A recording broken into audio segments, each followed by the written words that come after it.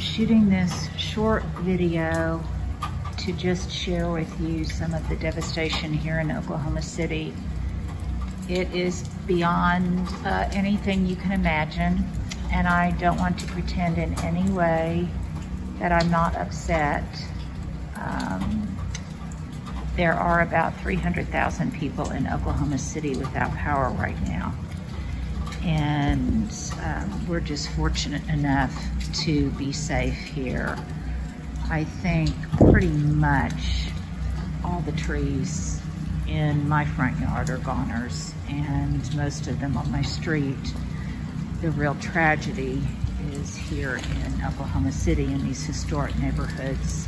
These were the oldest growth trees and a good number of them have come down and are coming down. It's still raining. Um, you can see just the sheer magnitude of what's gone on. I would show you the back, um, but our transformer blew last night and set off a fire um, in the house next door. So we have been instructed not to go into the backyard. We have no power, and I'm going to guess we won't have power for quite a while. Um, there is just so much extensive damage across the city. So hopefully they are able to make it to the hospitals and to the places that really rely on power. Um, it's even a bit deceiving because it looks like some of these trees aren't down, but they are damaged at the top and they are felled. Um, it is just pretty unbelievable. We did not used to get these kind of ice storms. Um, and now in the past 10 years, we have. We had another one in 2007 that I thought was just pretty much it, but it's nothing compared to this one.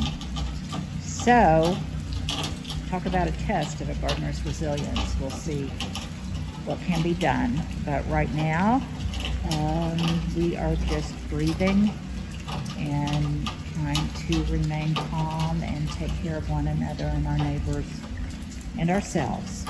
So I'm going to try to keep you posted. Stuart and I will show you um, more extensive video footage to chronicle this event and hopefully how it transforms itself over time. But right now we're just relying on your prayers and patience Mother Nature um, and a pioneer spirit.